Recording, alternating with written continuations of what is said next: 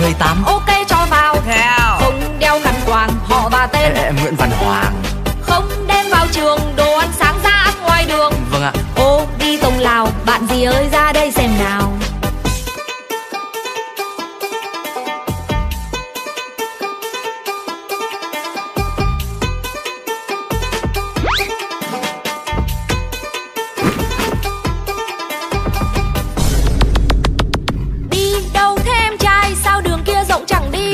cho nhanh. Hôm nay tóc hơi hoe. Ê, Em bị cháy năng ấy mà. Cháy thì về nhuộm lại đi em. Hoặc bây giờ để chị cắt luôn. Ôi thế thôi Chị để em tự cắt. Đi sang lớp A2 xem thằng kia nhuộm lại chưa. Sang luôn lớp A5 Nghe đồn có đứa phá hoại.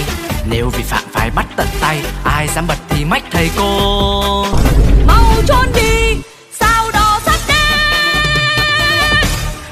sơ vin vào ngay. Con hậu đang đi tuần tra Mau vứt rác trong ngăn bàn Lấy rẻ lau xóa bảng đề. Bàn ba giấy bốn bên trong Bạn nam kia đứng ra đây.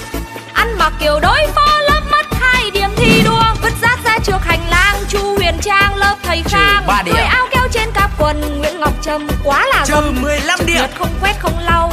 Học xong hết tiết ham chơi. Không chịu gìn giữ chi thấy phá hoại của công. Cuối tháng thi đua hạng C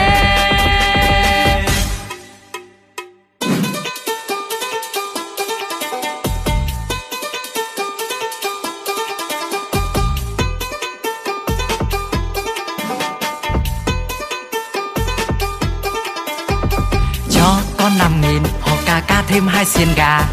Bim bim tằm và Mì trẻ em kem chanh bạc hà Bắt ngay tại trận Giờ ra chơi đi mua quà vặt Thu luôn toàn bộ Giờ thì hết trôi cai điện hộ. Ờ, Hôm nay lớp A3 năm bạn vi phạm nội quy. Không mang dép quai hậu Với cả không có khăn quàng.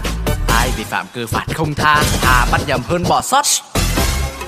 Bên dãy kia có gì đâu mờ ám Hôm qua bố hơi cay Sau đó bắt nhuộm lại đen? Trong khi nó cũng sai Có thằng tóc rõ là dài. Bố nó làm hiệu phó mày ơi Bé cái mồm tai mắt mọi nơi. Sợ cái chi Nếu gặp tao sẽ Sẽ làm sao? Em sẽ đưa chị đồ ăn Mong chị tha cho bọn em. Gút mút thanh mát ngon lành Em dành riêng cho chị đây. Giờ này vẫn đứng đầy buồn Chuẩn bị vào lớp nhanh lên. Sau này còn dám trông Dép có quai làm chi? Dép phải đi cho hẳn hoi Trong điểm. lớp không đeo khăn quàng Xe của bạn qua mặt ai? Thiếu trung thực. Mặt này make up sương sương Kẻ mày đánh phân môi son. Đây là trường lớp hay cái sâu diễn thời trang? Thích cái không lên gặp cô.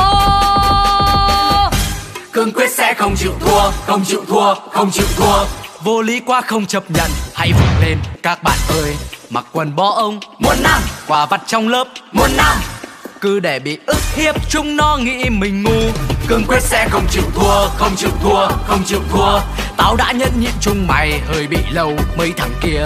Giỏi thì quyết chiến Luôn đề Nhào vô đây chiến Luôn đề Suốt ngày dọa dẫm dăm ba cái mạch thầy cô Hơi các anh em nhào vô